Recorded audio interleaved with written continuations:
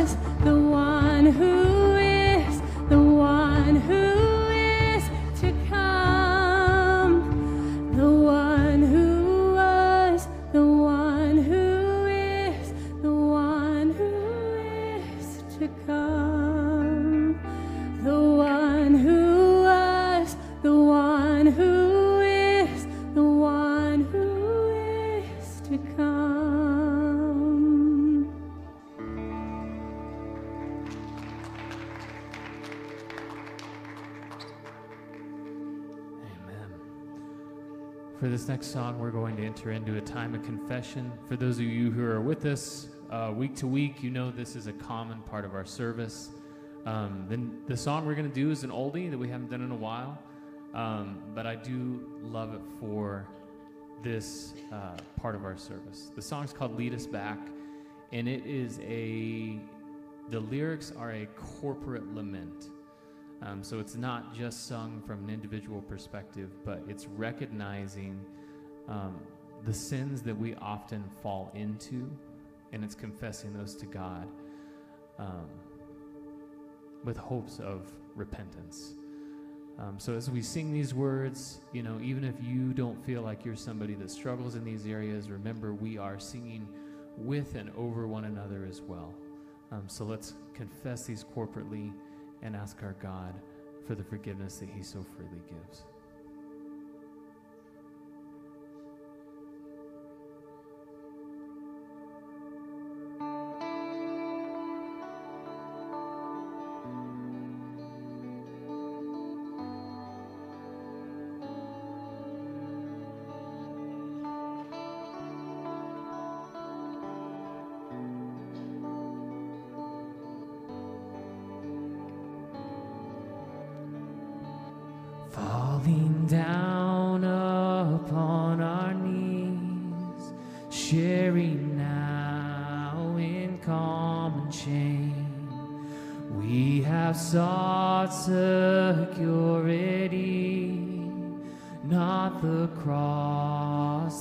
Bears your name.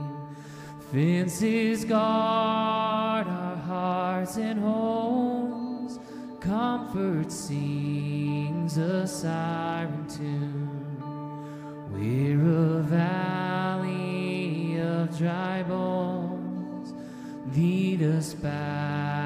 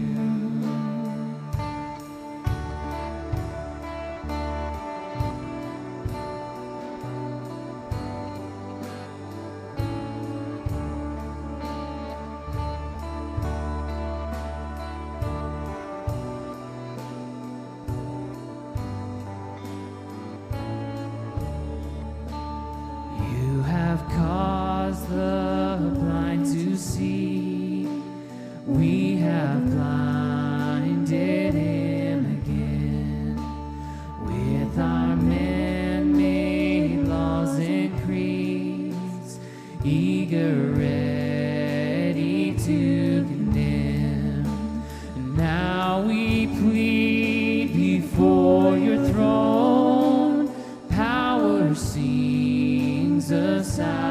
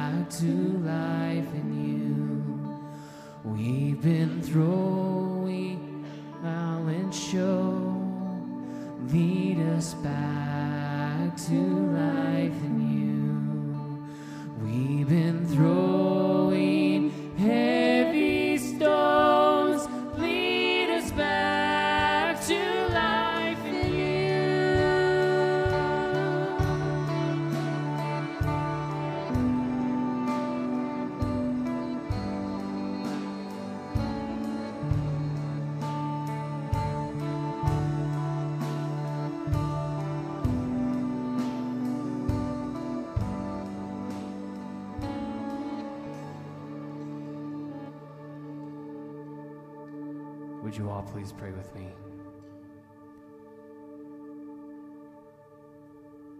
Heavenly Father, as we sing these words and we confess these things um, corporately, that many of us struggle at a personal level, but we know that um, that even your church can really struggle in. God, I pray that you would hear those things, that you would provide your sweet forgiveness. And God, that as we experience that life, we would leave those sins behind and that, um, that they would not have to mark us anymore. God, we thank you for your forgiveness. And we just praise you um, for the church that you have called us to be and are making us. In your name, amen. All right, we're going to take just a quick moment to greet those around us. Please find somebody that you don't know and introduce yourself.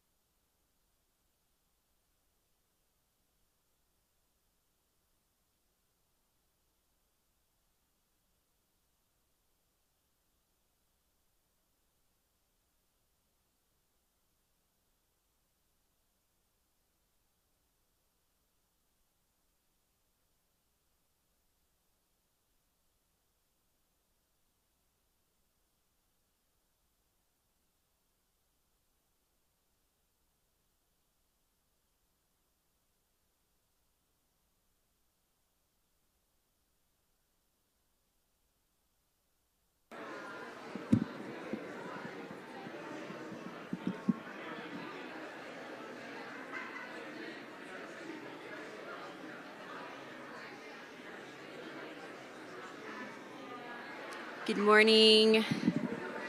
Please remain standing for the reading of God's word. My name is Jacqueline. Today we'll be reading from Deuteronomy 10 17 through 19.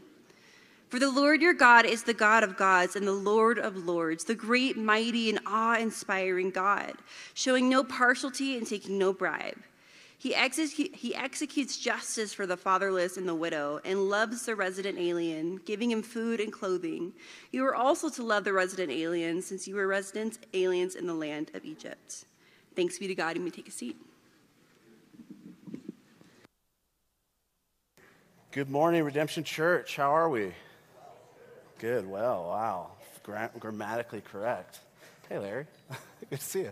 Uh, hey, uh, my name is Anthony. I'm one of the pastors here. I'm thankful to be here with you guys this morning. Before we get started, we uh, have a, a couple traditions. We won't do one of them. I'm just trying to scare you a little bit. Uh, but we, we love to pray for another local church. It's one of the traditions we do. Almost every week, we pray for another local church. And part of why we pray for another local church is we want to remind ourselves each and every week that God's church is bigger, God's family is bigger than just this room. I think a lot of times, especially for us as Protestants, we can forget how big God's family is and what He's doing through Jesus and with the gospel throughout the world. And so we, we pray for another local church every week to remind ourselves of that. And so this morning we're going to be praying for Flagstaff Bible Church. If you don't know Flagstaff Bible Church, they're a church off of Switzer Canyon. They've been uh, just a wonderful blessing to us over the years. All sorts of uh, meetings we've had there. They've just let us use their building freely without any questions and, uh, or without having to pay or anything like that. And so Uh, so we're just really thankful for Flagstaff Bible Church and, and, how they blessed us and how they're a blessing in the city. And so, uh, so will you guys pray with me for Flagstaff Bible Church? Don't just listen to me pray, but pray prayers of your own as I pray. And then I'll also pray for us as we get into God's word this morning and for myself that, that God would be able to speak through me or teach through me this morning. So pray with me. God, uh, thank you. thank you for your uh, thank you for Flagstaff Bible Church. Thank you for who they are in this city. Thank you for the blessing that they've been to us. Thank you for their faithfulness and commitment to you, God. I, they're zealously uh, committed to you, God, and want to be so faithful to you, God. And so I'm, I'm thankful for their hearts uh, of zeal, God. I, I pray as they meet this morning, God, that, that you just bless their time, that, that the, that the that as the word is preached, that they hear from you in new and refreshing ways, or just, just refreshing ways, God, and that they're just reminded of, of your goodness and who Jesus is and the gospel, God. I'm, I'm sure the leaders there have lots of things they're praying for for uh, their church, God. I, I pray that those, uh, they see a little bit of fruition of, of some of those prayers being answered this morning. God, I pray for us as we get into your word, God. I think uh, this morning, God, we're, we're stepping into this topic of, of justice, as you know, and it can be a, a topic that's hard for us in, uh, in America to talk about, to think through. And so I, I, just pray right now that you would just calm our hearts, calm my heart, that, uh, that we would hear your word and not hear something else, that we would hear from you and what you're trying to teach us. And so, God, uh, I pray that as I, as I preach, I, I allow you to use uh, my personality and my words to, to say what you would say uh, to this group. And uh, yeah, God, I fill me with your spirit. Let this time be a time that spurs us uh, to do justice and to show mercy. And so, Lord, we, we love you and we need you. Amen. All right, you guys have heard me mention the, the show, The Chosen, a few times now. How many of you guys have seen the show, The Chosen? Any episodes? All right. So it's, it's a great show. I mention it a lot because I grew up with a lot of cheesy and bad depictions of the life of Jesus, okay? A lot of very beautiful Jesuses. In my lifetime, is how he was depicted blonde hair, blue eyed guys, and that's just not what he looked like. And so I love The Chosen because it's been, I think, a better depiction of Jesus. And if you don't know the show The Chosen, it's, a, it's basically telling the story of Jesus' ministry among his disciples. And I figured out how to cut a clip and play it for you guys this morning, okay? That's what you're paying me to do. I did it. Okay? And so uh, we're going to play a clip. Before the clip plays, here's, here's what it is it is Matthew 23 put into film form. They're trying to say, what did that maybe look like in real life? And Matthew 23 is Jesus having a confrontation with the Pharisees that's pretty intense. So we're just going to start the sermon off on a great note and let you watch this kind of intense uh, confrontation confrontation that Jesus has with the Pharisees. So go ahead and play that clip now. You Pharisees, you cleanse the outside of a cup and the dish, and then you eat and drink food that goes into a body that inside is full of greed and wickedness. You fools! Did not he who made the outside make the inside also? But give as alms those things that are within, behold, everything is clean for you. Are you saying giving alms is more important than being ritually I'm clean? I'm saying that your obsession with what is clean and unclean goes farther than God intended and does no good for anybody but yourself. We tithe everything so the poor can benefit, down to the smallest plants grown in our gardens. And to that I say, woe to you Pharisees! You tithe mint and dill and cumin, measuring carefully the last speck while neglecting what is actually important of the law justice and mercy and faithfulness. You blind guides, straining out a gnat while swallowing a camel. Look at these people. What have you done to help them? We have taught them how to observe God's perfect law, while you actively defy and break and encourage others to deviate from it. All of you! This man is dangerous. He's leading you astray. His words bring hope and healing. His words are blasphemous, Then heretical. I say, woe to you, and Pharisees, for you'll have the best seat in the synagogues and greetings in the marketplaces. Take it back. Right now. You can't hear insulting words. Oh, I am just getting started.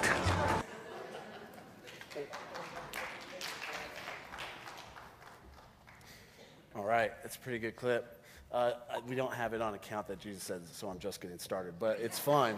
It's fun that he says it. So uh, it's, it's intense. It's a, this is an intense scene. Here's what's funny. I went back and I read Matthew 23, and when I read Matthew 23, I was like, this is this is even more intense. Like when I read Matthew 23, I go, this actually on paper seems more intense than even how the chosen depicted it on film. So, so, so why am I showing, why am I showing, I'm going to grab my notes because it has the verse on. Why am I showing, uh, I just realized, uh, why am I showing that clip to us this morning? It's because one of the woes that Jesus says in that clip is going to be our focus for today. Effectively, I want, or I, essentially, I want to teach one of the woes that Jesus says.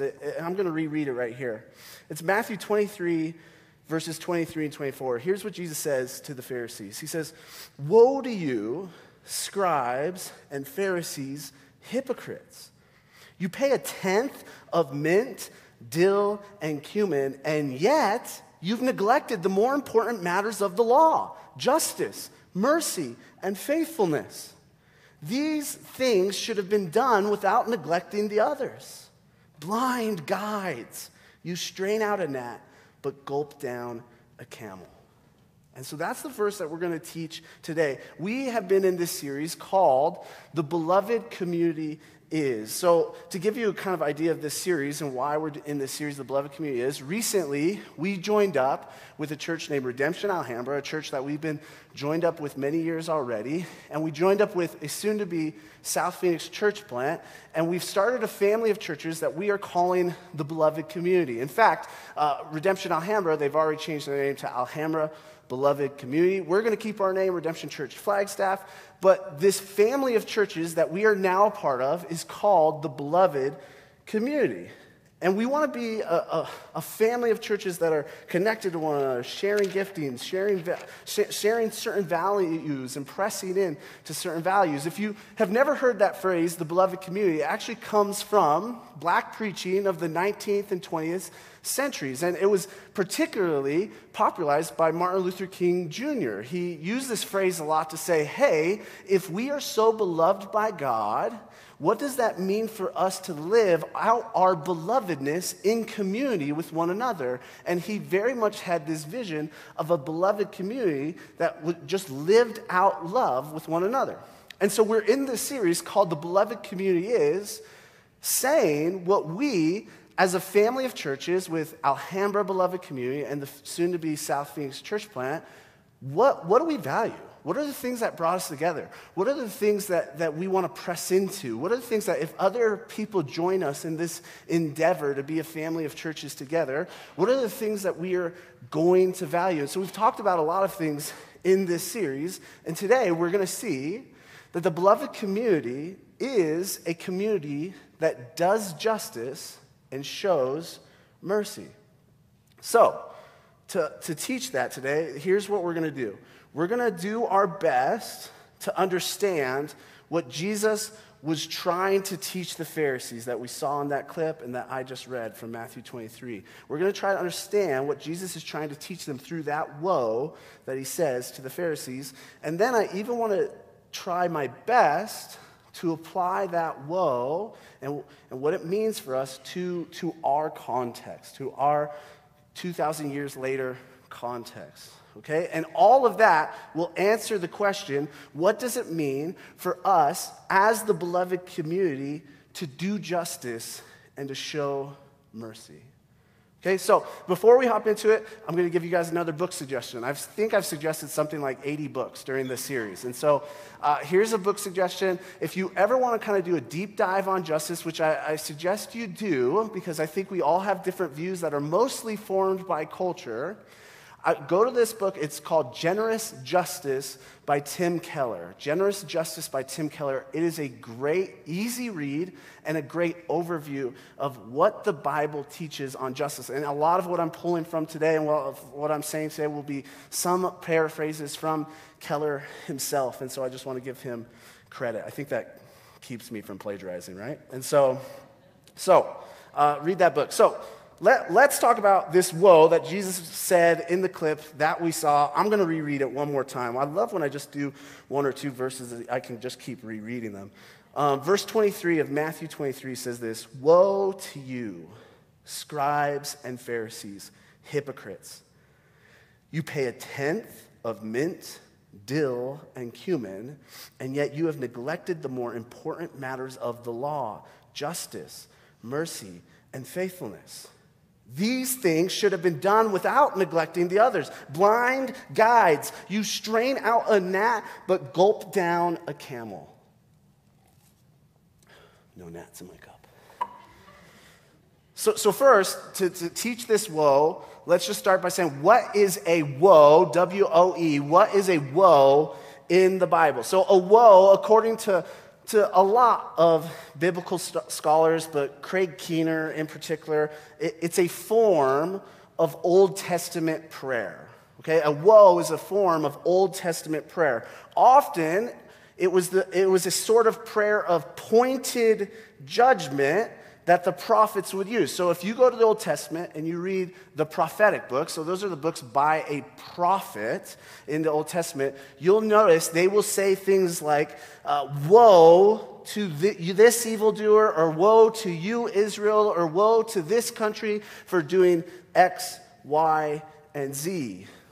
And so, uh, so that's kind of how a woe is used in the Old Testament. And Keener thinks that, that Jesus here could be even using it kind of like a curse, not like a mystical curse, but if you know Jesus, he has a lot of statements that, are, that fall under this kind of be attitudes. He has these blessed are statements, or blessed is the person statements. And then he says, Who is the person that is blessed in some way in God's upside down kingdom?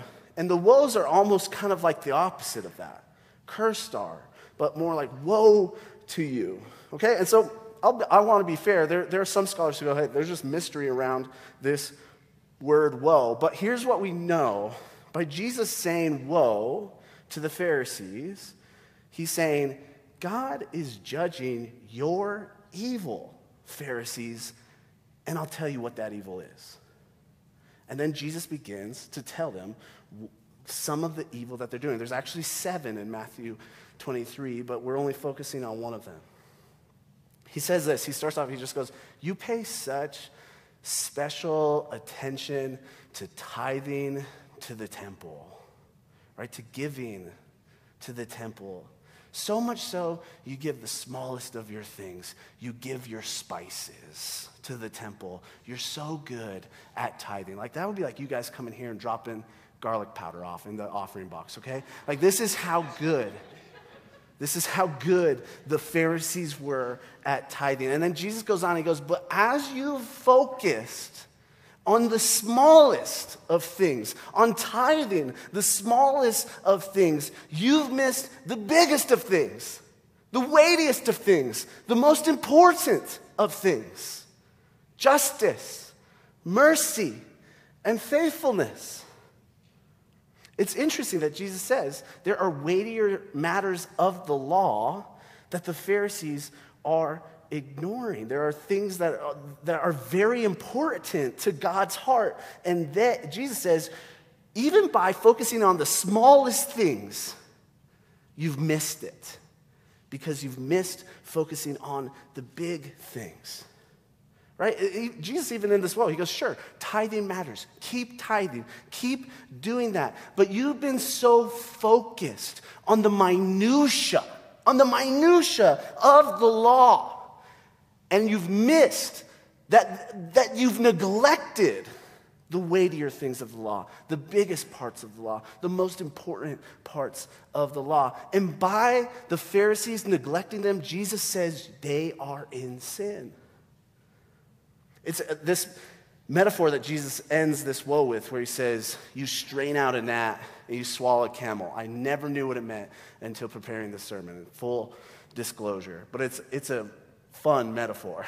Jesus, so, so this is what the Pharisees would do. This is a real thing that they did in Jesus' day. They would sit down to eat, they would get their cup of water, cup of wine, whatever it was. They would, before they drank it, they would strain it out to make sure no gnats were in it. Sometimes they wouldn't strain out and they would just dig with their grubby little fingers and pull the gnats out because they were so obsessed with ritual and spiritual cleanliness in the temple and uncleanliness, and they knew that if they mistakenly swallowed a gnat, they would become unclean.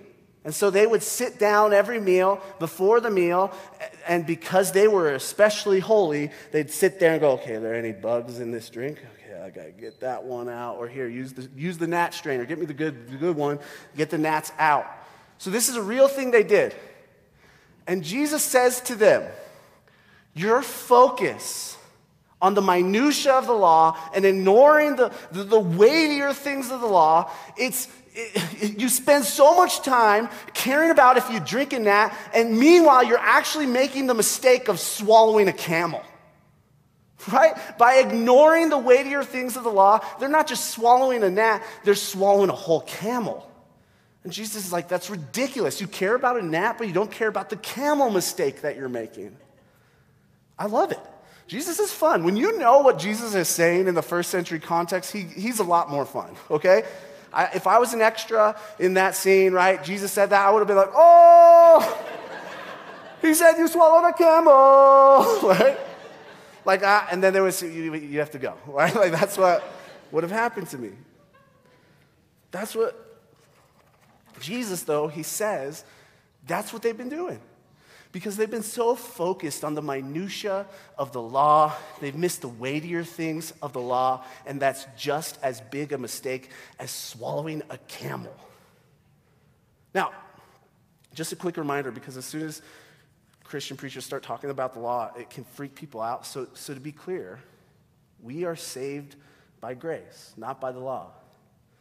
But something i think we miss and forget sometimes is the law which is in the Old Testament, and it, it's kind of these ways of living that God has for Israel specifically, the law is still good for the Christian. Part of why we know the law is still good for the Christian is because of how Jesus uses the law, teaches the law, interprets the law. Jesus himself even says he had, he had come not to abolish the law, but to fulfill the law.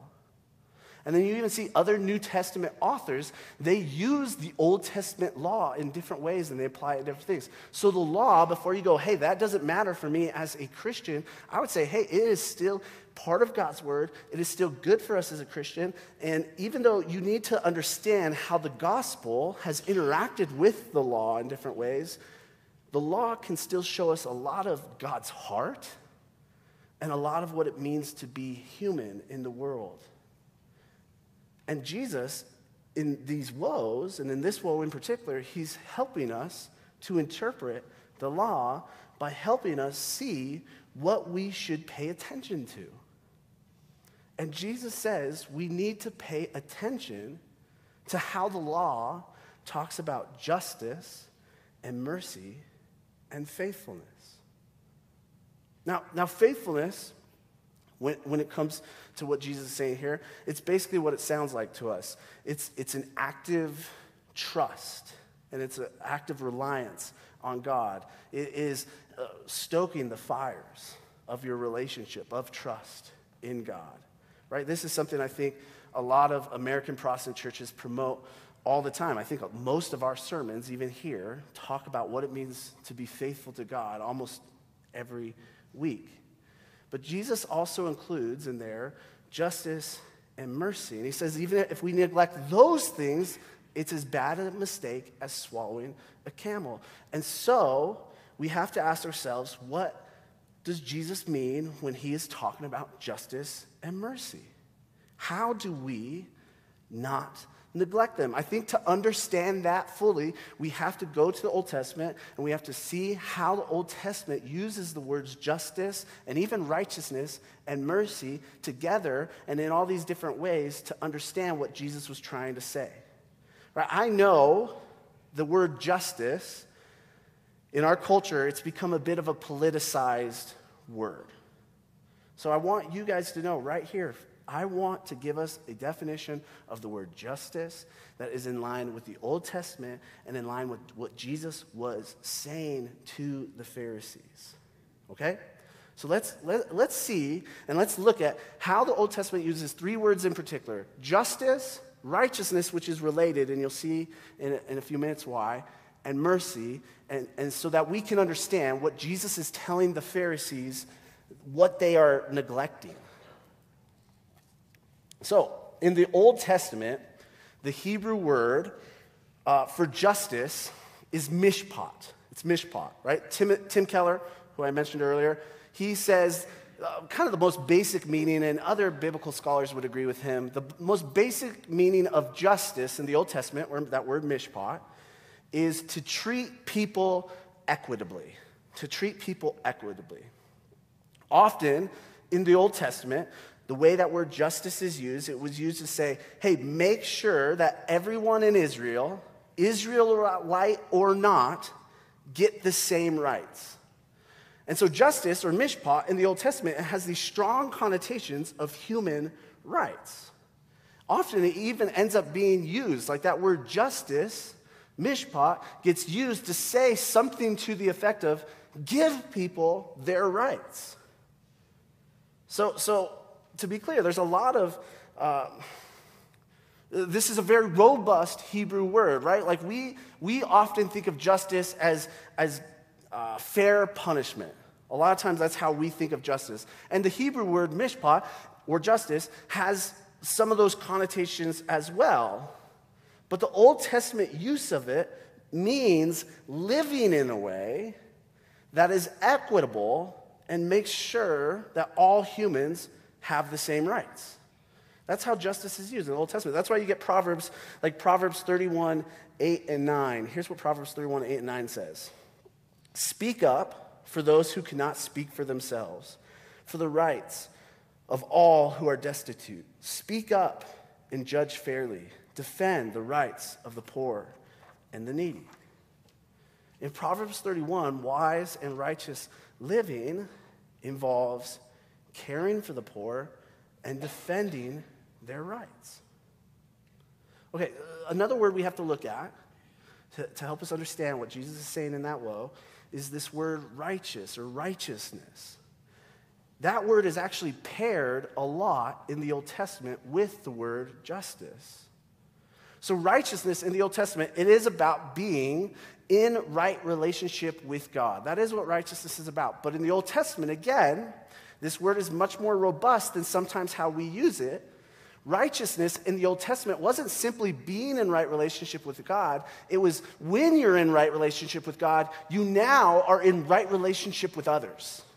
You begin to live that righteousness out. And, and the way that righteousness is spelled out all throughout the Old Testament is not by like some kind of personal piety, although sometimes it is.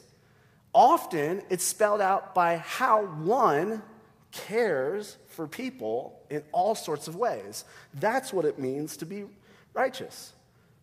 And so, justice in the Old Testament and righteousness, they, they get paired together a lot because they have similar meanings. And, and God is trying to say similar things. He's trying to get his people to have similar values about how they live in the world. So he, he, let me show you an instance of that happening where justice and righteousness is used in these ways. It's Job chapter 29, verses 12 through 17. Job describes all of these actions and he calls them his just actions and his righteous actions. Look what he, what he says. He says, For I rescued the poor who cried out for help, and the fatherless child who had no one to support him. The dying blessed me, and I made the widow's heart rejoice. I clothed myself in righteousness, and it enveloped me. My just or justice, my just decisions were like a robe and a turban. I was eyes to the blind and feet to the lame. I was a father to the needy, and I examined the case of the stranger. I shattered the fangs of the unjust and snatched the prey from his teeth. So when Job clothes himself in justice and righteousness, look what actions take place. He rescues any person that is poor and asks for help. He helps the fatherless child. He, the dying call him blessed means he helps people that are dying. He helps the widow. He helps those with physical ailments like blindness or inability to walk. He himself became a father to the needy. He helped fight for the rights of the stranger or foreigner or resident alien or immigrant, you could even say. And he fights the oppressors. That to Job is what justice and righteousness was. And you will find all throughout the Old Testament justice and righteousness being paired in these ways and described in these ways. If we are going to understand what Jesus was calling the Pharisees out for, we have to understand that this, what I just read, is how the Old Testament uses the words justice and righteousness. Those words almost always, as I read the Old Testament, have a connotation of defending people's rights and treating one another equitably and caring for the vulnerable. Okay, I have another example. We don't have time for it, so I'm not going to read it, but go read this later. Ezekiel 18, 5 through 8. You will see how Ezekiel describes a man that is righteous, just, and right. And you'll notice it has these a few different connotations, but some of them, or a lot of them, have to do with caring for the vulnerable, caring for the poor. And God calls his people to be just and righteous.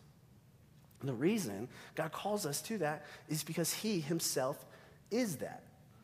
Look at what Deuteronomy 10, uh, 17 through 19 says. This describes God. For the Lord your God is the God of gods and the Lord of lords, the great, mighty, and awe inspiring God, showing no partiality and taking no bribe. He executes justice for the fatherless and the widow and loves to love the resident alien, since you were resident aliens in the land of Egypt. God calls us to be just and righteous because we are image bearers and he is a God who is just and righteous. He calls us to acts of justice and righteousness because he is doing acts of justice and righteousness in the world. So that's justice, that's righteousness. Now, what about mercy? This other word that Jesus uses in that well.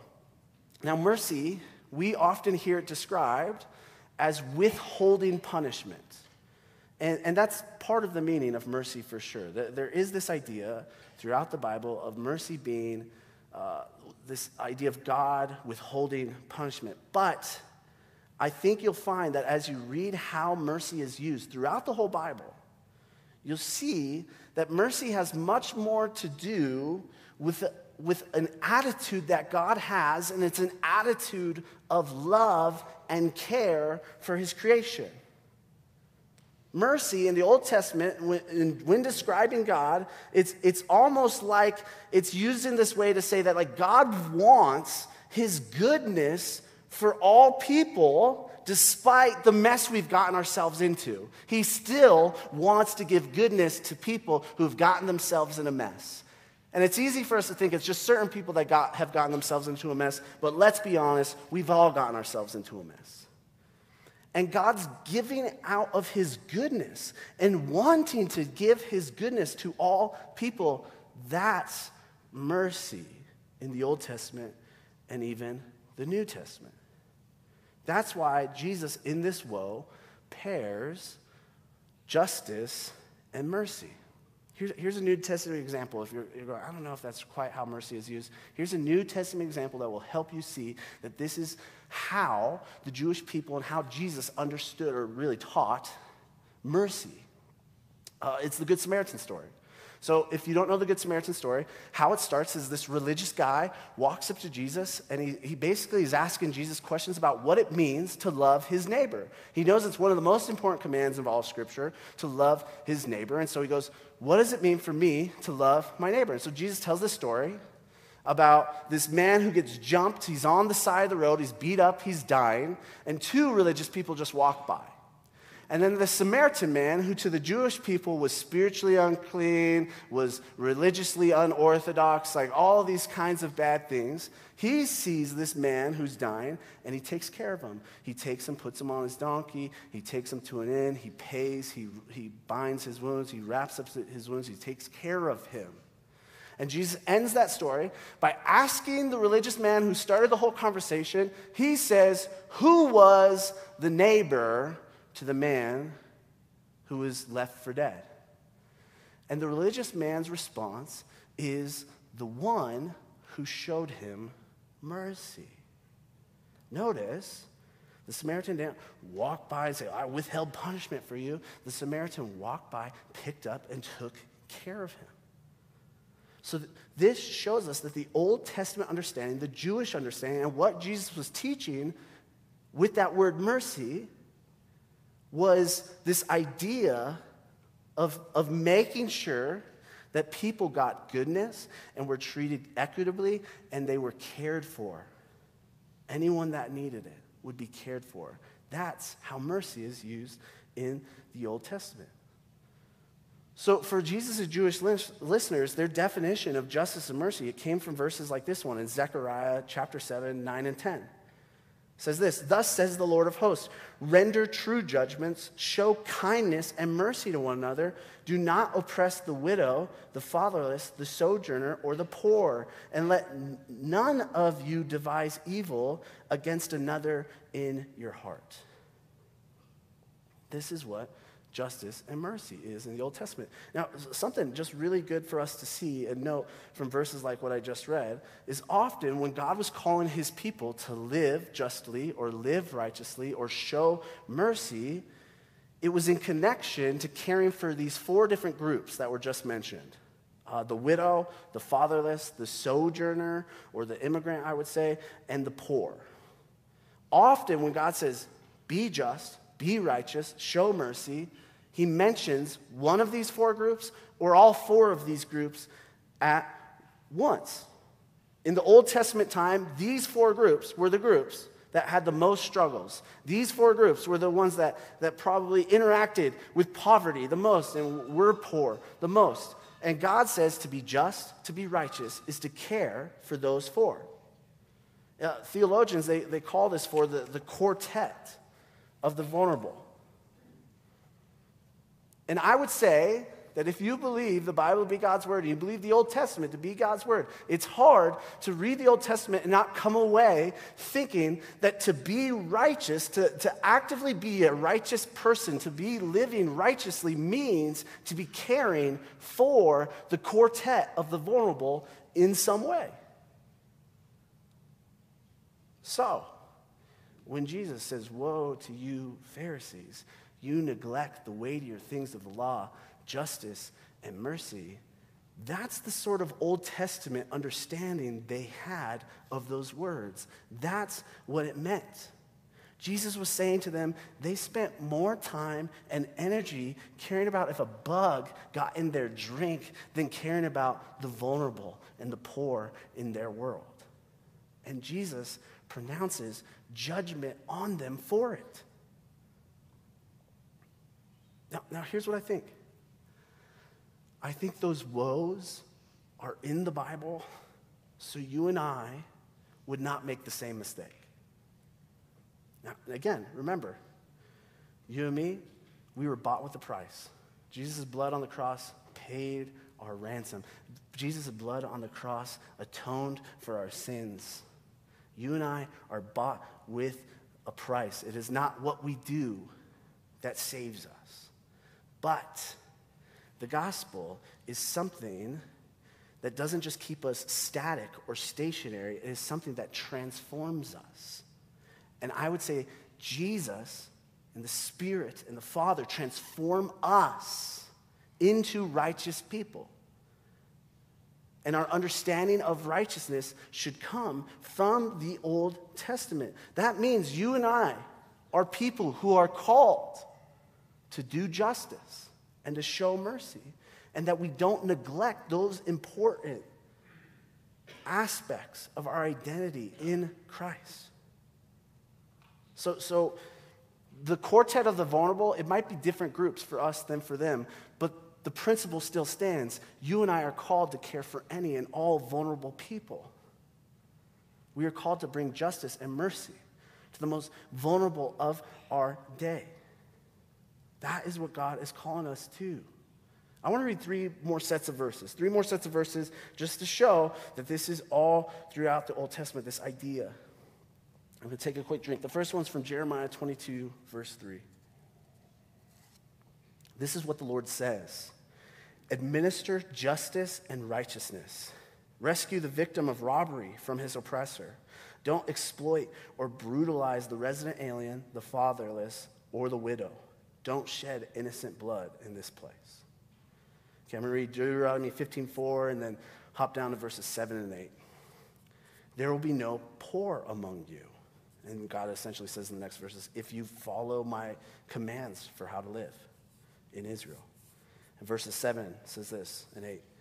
If there is a person, if there is a poor person among you, one of your brothers within any of your city gates in the land the Lord your God is giving you, do not be hard hearted or tight fisted toward your poor brother. Instead, you are to open your hand to him and freely loan him enough for whatever need he has. Okay, and then Micah 6 8 says this He has told you, Oh man, what is good, and what does the Lord require of you? But to do justice and to love kindness and to walk humbly with your God. I could read more verses about justice in the Bible. It is all throughout the Bible. I'm tempted. I'm tempted to read more verses on justice because the, the idea of a Christian living out justice and having a focus on that has become controversial for some reason. And I think it's tied to the political idolatry in our country and that many of us, unfortunately, involve ourselves in. But I want to be clear for us, as the beloved community, doing justice and showing mercy is something that we will do. It is something we value. It is something we will pursue. We will seek justice, we will do justice, and we will show mercy. That is a huge value for us as the beloved community family of churches. And us locally. This has always been a value of ours. So, now what I want to do is I want to apply this. How do we apply what Jesus is saying to the Pharisees there? How do we apply it to our day? Here, here's how I think we do I think we do it by, by looking at the spheres and places in our lives that have injustice going on in them and taking action. Or seeing the vulnerable people, the hurting people, or the people that need care around us and take action. So here's what I'm going to do in this sermon next. I want to talk about five areas of American life that I think are areas or things that are in front of all of us in some way. Maybe not all of us, but there are things in front of a lot of us. And I think there are areas that we could press in and do justice and show mercy in in all kinds of ways. And I, am picking five things and five big things because uh, I think sometimes we get overwhelmed by verses like this and we don't know where to start. And so I just want to give us eyes to see that it might be easier for us to step into issues of justice uh, a little bit easier than we think it is. Okay, so, but before I say those five things, I need to say some disclaimers, okay? Disclaimer one, okay? We can't all do everything. I, I, think sometimes at this church, because we preach through books of the Bible and the Bible talks about a lot of actions of God's people, we get overwhelmed. But here's what I would say is we need not get overwhelmed. We can't all do every, everything. We said in a sermon a couple weeks ago, what God is asking us to do is steward our lives and be intentional about something or some things. right? So we can't all do everything. So as you hear these different things, you're like, I, Anthony just sent me out to join the Peace Corps after this. Like, I, like don't think that. Just go, what's in front of you? What, what can you do? What has God put in front of you? What are you gifted at? We can't all do everything, but collectively, hopefully, the church is involved in all of these kinds of things. Okay? Uh, disclaimer number two believe it or not, I am not trying to get you to hop on some political bandwagon. Okay? I'm not. I am politically schizophrenic at best. Like, guys, like I, maybe I shouldn't have said that, but um, I, I'm not trying to get you to hop on some political bandwagon. I am not.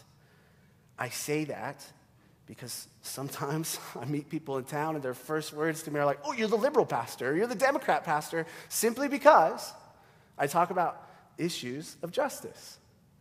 I want to be clear. I, I'm not trying to get you to hop on a political bandwagon. I am trying to get you to do justice and to show mercy. That's what I'm trying to do. And what we have to do is we have to do it in our context, which unfortunately our context is highly politicized. So every single issue you could imagine has been politicized. And we love to label each other all these different kinds of things. I want you to press into justice and mercy in some of these areas because I think they're important to the heart of God. Okay? Disclaimer number three I'm doing my best. Uh, I'm doing my best. That's really it. I'm doing my best. to, thank you. To speak through these various issues that to me seem, seem like justice issues. That's what I really do mean that. Like, I, I'm doing my best, okay, guys? If you disagree, that is okay. You don't, this is like a crazy new thing. This is something we're doing in the church now. When you disagree with your pastor, you actually don't have to verbally combat him after. Like, you don't. Super cool. When people don't do that, I'm like, you're great. Um, we can talk, we can dialogue, we can disagree. But I'm, I, like, if you've already made up your mind about some of the things that I talk about, I just don't know if a dialogue is really fruitful. I often notice like people want to dialogue with me and they're like, what about this? And I'm like, yeah, that's a good point. What about this? Yeah, that's a good point. And then I go, well, what did you think about how I said this? I'm like, nah, you're still, it's just not fruitful. Often these conversations just feel like trying to like fight me and wrestle me into like submission or something, okay? And so, listen, we might have different perspectives, we might have different conclusions, and, and, and maybe I do. Maybe I have different perspectives or different conclusions, and that's not always misguided. Sometimes it's just okay. So, I just, I really, again, at the end of the day, I hope my perspectives push us into loving people more, loving their neighbor more. All right? I, I, I, sometimes I say this stuff, I'm worried everybody's like, I'm never going to talk to you or disagree with you again. Like, you can. Just be nice. like, that's like, that's it. Like, and be open to changing your mind. Okay? All right. Fourth, I'll say this disclaimer. Before I say any of this, like, actually get in the lives of the vulnerable. I, I think it tremendously changes how you think about justice issues when you're not in the lives of the vulnerable and you're just arguing about things that we all love to argue about, I think that's similar to what the Pharisees were doing with Jesus. Like, uh, we, we actually have to be in the lives of the vulnerable before I think we can talk about this in any kind of fruitful way. Okay? So, with that said, the part of the sermon that's going to make our hearts raise a little bit, and that's okay. Um, because I think that when God calls us to justice, I think when he was calling people to justice in the Old Testament, I probably did the same thing. So, first area, first area to think through is poverty. Poverty in general. So, the quartet of the vulnerable, like I said earlier, almost all of them were connected to poverty in some kind of way, like they would find themselves poor alive. This is part of why mentions the quartet of the vulnerable. There was other reasons they were vulnerable as well, but poverty was a huge part of why God mentions those different groups, like widows, the fatherless, the immigrant, and the poor. Well, they are. And so uh, here, here's something interesting. In the Proverbs, the Proverbs kind of gives two reasons for poverty in the world, maybe more, but two, you'll see a lot of Proverbs on these two reasons. Reason number one, there are people who are poor because they don't work and they are lazy, or as the King James Version says, they are sluggard. That's how I have it memorized. And so that they just don't live into what God has given them to steward. That's one reason. Second reason, it shows up just as many times in my reading of the Proverbs. People are poor because of some sort of oppression in the world. It's happening to them rather than, than, rather than them doing it to themselves. Now, here's what's interesting. When God calls the church to care for the poor, he doesn't qualify what kind of poor person. He doesn't. He just says, care for the poor. So, I think we have to think through who in our life is experiencing poverty in some way and how do we care for them? What's sad is many of us, once we get to a certain class in this society, never interact in a meaningful way with the poor or those that experience poverty. God does not want there to be poor. In the resurrection, when Jesus returns, there's going to be no poor among us. If Israel had listened to God, there would have been no poor among them. God sees how sin in the world has made so many people that he loves go without what they need. And he cares about them and he wants to show them mercy. And you and I, as Christians, are called to step into their lives and show them the mercy that God has for them. We need to be people that lift up the poor, defend their rights, provide for them, and allow them into our lives as equals. Americans love to argue about the poor and look down on the poor. That is not what we are called to as Christians. We are called to love the poor and care for the poor. There is an injustice in God's eyes when he sees pover- how poverty has affected someone. It is a justice issue. Poverty. Okay, the next uh, area of American life to think about in regards to justice is abortion.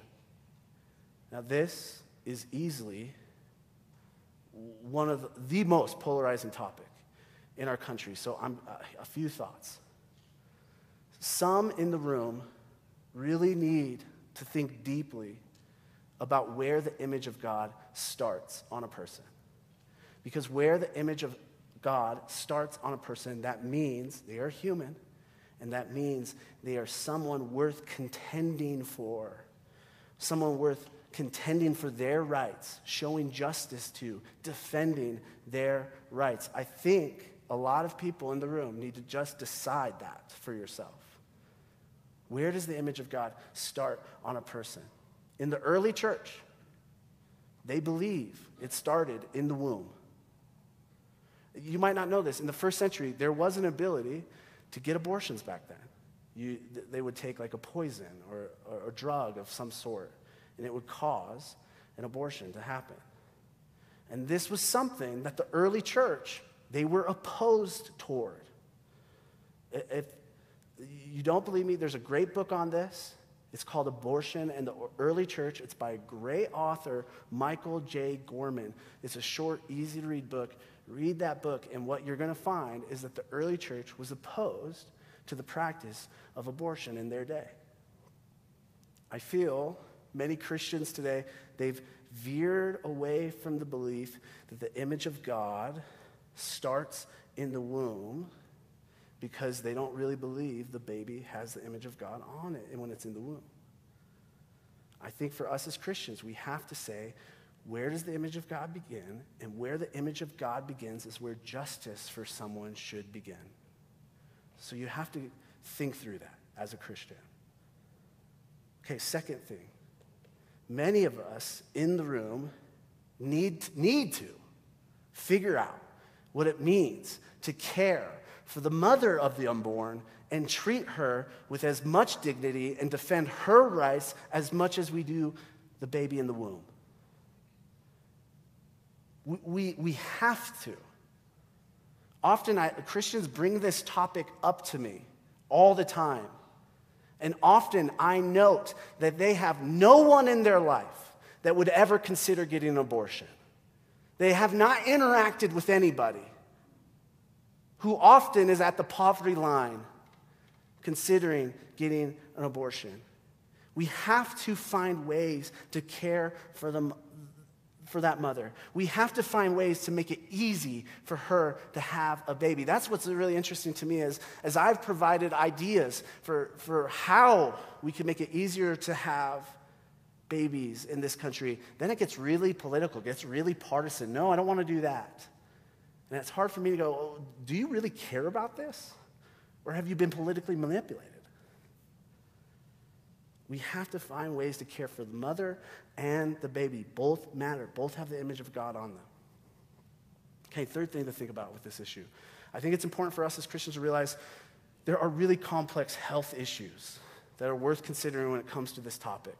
Uh, we don't have time to get into all of that here, but I, often Christians can kind of invalidate very valid, complex health situations by not even being willing to consider them at all and, and the ethical issues they raise. And the, uh, thinking through those things. Uh, fourth, I think we have to realize because this topic is so polarized, it might be even polarized in this room, but it's definitely polarized in this country. That means contending for justice in this arena is complex. How do we seek justice in this area when half the country really disagrees with the other half of the country. What does that mean? How do we do that? How do we truly reduce abortions in this country? How do we really care for the mother? I think it's going to take a lot of thought, it's going to take creativity, and it's going to take actions that are a bit more difficult than a social media post about it. I, I, I truly think this is an area of justice for us to press into. It's something in front of us. Okay. Area number three. I think pornography. I think pornography is a justice issue. Now, I know that might be surprising to hear, and here's what I'll say. I know a lot of, a lot of people struggle with pornography and are addicted to porn. And uh, I, I, I, don't bring, to bring, bring more shame. We as a church, I, we'd love to help you with that. We have some resources and classes we could point you towards to help you in your struggle with that. But I also think pornography is a justice issue. Often pornography just gets talked about as solely a lust issue, but I think it's a justice issue. The reason I think it's a justice issue is because different studies out there show that something like 50 to 70, I think I've seen as high as 70%, but I've seen as low as 50 or maybe even 40% of all porn on the internet is porn that has coerced or forced a woman into it or trafficked a, wo- a woman into it.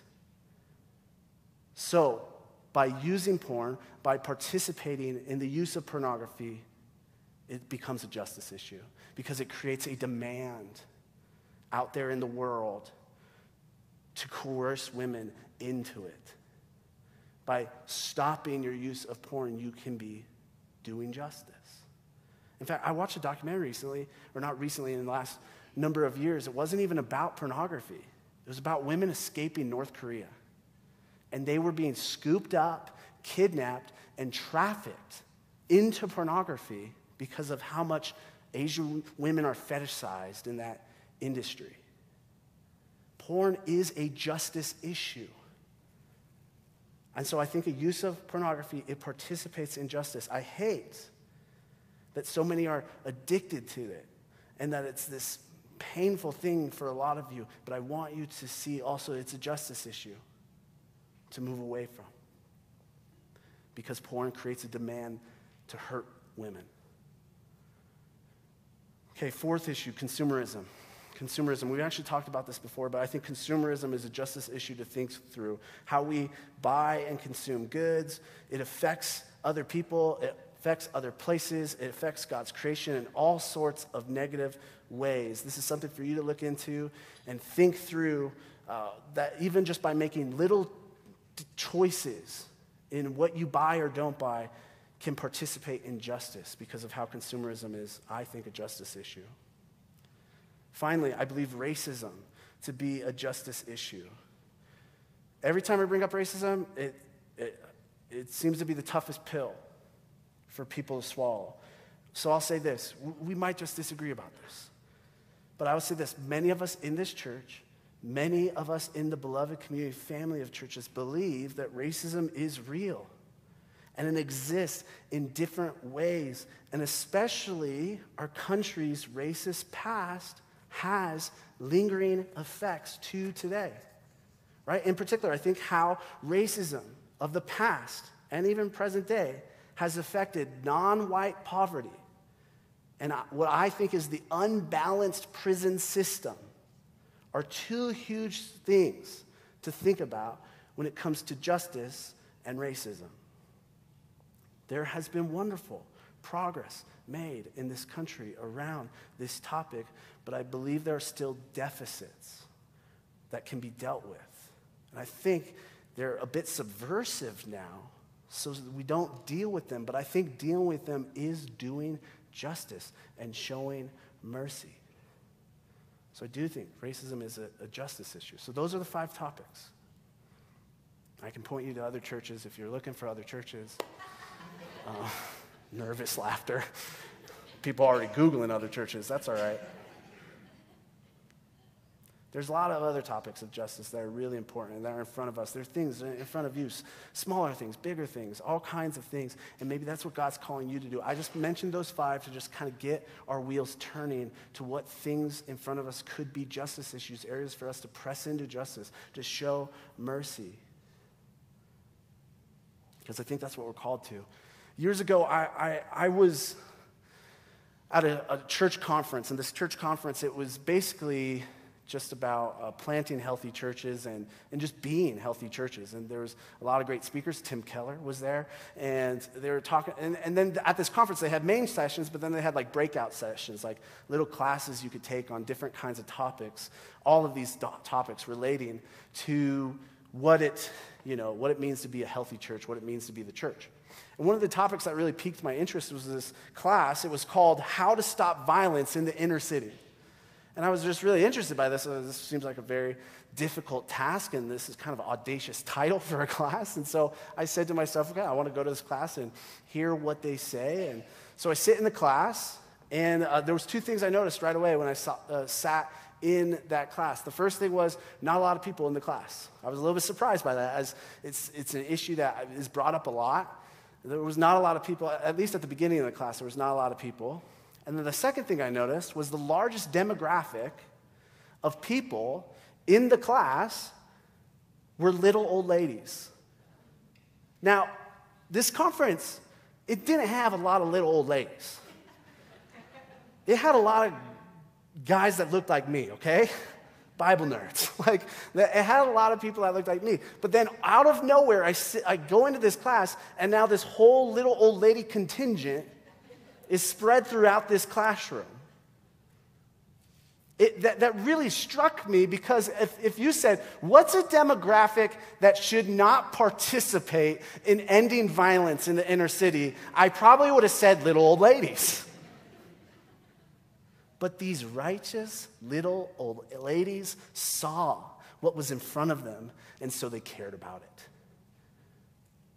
They were close to the heart of God, a heart that cares about justice and mercy. And the, so they showed up to a random class about how to stop violence in the inner city. I am not really interested in being a church that preaches good sermons about justice. I am interested in being a church full of people like those little old ladies actually seeking how we can bring more justice and more mercy into this world. If we went away from here and did more justice and you were still so mad at me, I would be okay with that. It would hurt my feelings, but I'd be okay with that. Because I want us to go away from here doing more justice, showing more mercy. I want us to be a church that does not neglect the weightier things of the law. May that be true of us. Amen? Amen. Let's pray. God, thank you for your word. God, what's beautiful about all of these verses about justice shows you see everyone. You see everything. You care about everyone. You care about everything. Who are we that you would include us in your plan of justice and mercy? God, I pray that we as a church can step into this all the ways you're calling us to step into. God, forgive me if there are things I shouldn't have said. God, help us if there are things I said, but we're all having a hard time, or some of us are having a hard time swallowing that pill, hearing what you're trying to teach us. God, help this to not be some kind of legalistic, a different sort of Phariseeism where we're legalistic about this, but help, the, help this to flow out of our understanding of our belovedness. And give us eyes to see and then hands and wills that step into these places and do things and make Flagstaff a more just place. And that our church could know that we participated in that being so. God, we love you and we need you. Amen. All right, we're going to move into a short reflection time. We do this every week. We just take a couple minutes, sit in your seats, pray to God, talk to God, even just meditate on His Word. Think about the verses we read, or just think about those words, just reflect. And then in a couple minutes, Pastor Kyle will be up to lead us into our response time. So go ahead, take a couple minutes to reflect right now.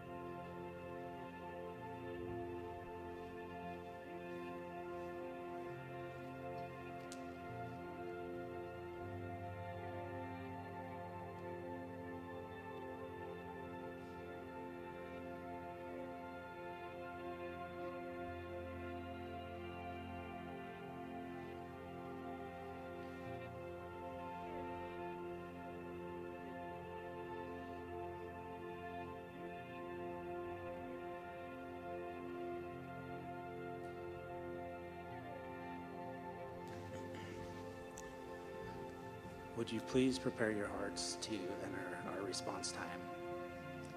Every Sunday, we hold space in our service to respond to the Word of God. So we don't just be hearers of the Word, but we can do be doers of, as well. And we do three things in our response time. The first thing is we receive communion together. And as we've been talking about in this beloved series, uh, one of the sermons we really talked about being like Jesus, to apprentice Jesus and copy him and imitate him. And he broke bread. He offered up the wine to recognize his body would be given to, for our sins, that his blood would be spilled for our forgiveness. So as we receive communion, we do this because this is something Jesus did, and it acts as a reminder for us to remember who Jesus is and what he's done for us. The second thing we do is we, we take a time for offering. We have boxes set out back. If you have cash check or changes, drop them in. Uh, if you, you can text the number on the screen or you can give online. And the third thing we do is we sing, we worship, uh, we just take time to praise God with our voices and with our bodies. Um, if you're serving communion, would you please come forward and get prepared? If you need gluten free or less germ options, to my right, there's a cart over here, so feel free to help yourselves to that as well.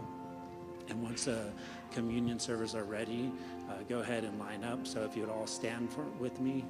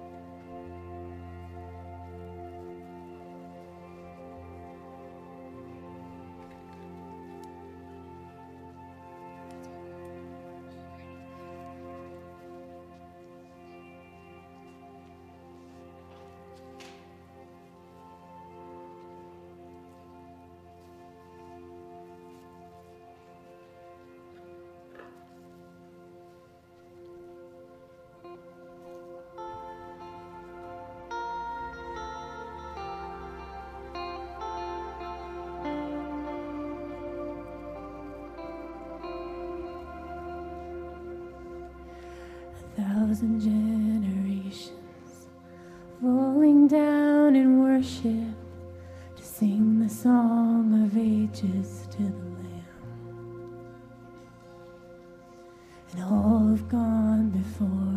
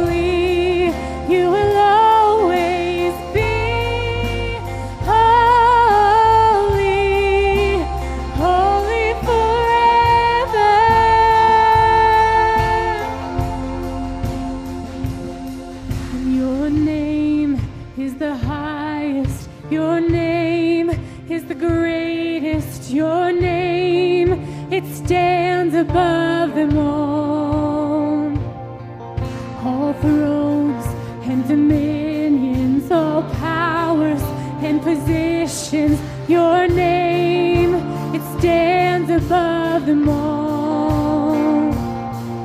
Your name is the highest, your name is the greatest, your name.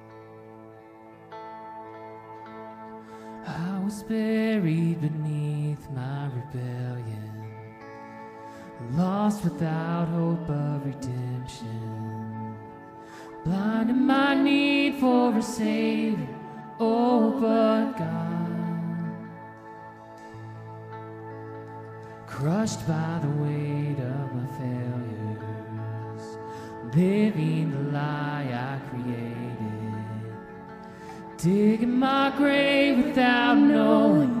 Oh, but God, oh, but God, rich in mercy, how you love me, too much to let me stay lost.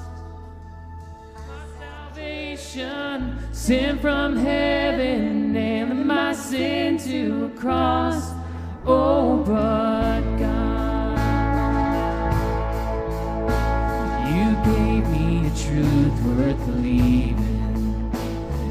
traded my chains for your freedom. Cause you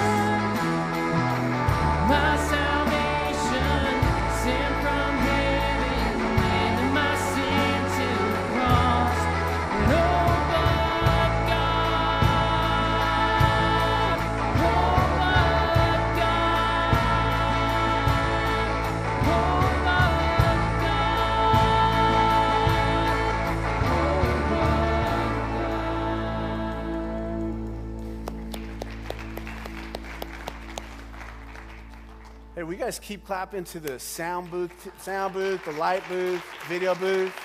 Pete killed it on playing that video. Perfect. You guys can take a quick seat. Uh, Justice Part Two. Here we go. No, uh, a few announcements before you guys go. Hey, first announcement is uh, this Good Friday service coming up on Good Friday in this room, 6:30 p.m. Okay, 6:30 in this room. That's where our Good Friday service will be. Second thing, members' classes are coming up. If you're looking to become a member, to deepen your commitment to our church, uh, come to the membership classes. You can even come if you maybe don't want to be a member and you just kind of want to see uh, a more extensive vision for our church, and, and especially around doctrine and different things. Uh, it's great. There are three different classes. There are April 7th, 14th, and 21st. If you're interested in becoming a member, stop by the Connect desk, fill out a Connect card, or uh, I think there's even a member sign up on the iPad uh, as well. You can fill that out, and we'll make sure you get the intel on that. We also have baby dedications coming up in April. Do I know the date? No. Uh, but it is in April. I just forgot what date it is. So if you are interested in uh, having a child or baby dedicated, it could be either or uh, to the Lord, just something we do as a church. Stop by the Connect Desk, sign up for that as well. And then one last quick announcement we are now hiring two part time positions. They're both Sunday related. One is a uh, Sunday service coordinator, the other is a setup and tear down kids coordinator. Uh, there's a lot of moving parts on Sundays, and so we do our best to try to pay people part time if we can uh, instead of just rely on volunteers. And so if that is something you're interested in, stop by the Connect Desk and just say you're interested in that, and I'll make sure to connect with you and uh, have you send an application of, of some sort. So uh, those are all our, our announcements. Let me pray a, bl- a blessing and a benediction over us. If you have any questions, stop at the Connect Desk. But God, may we do justice and show mercy and walk humbly and do kindness.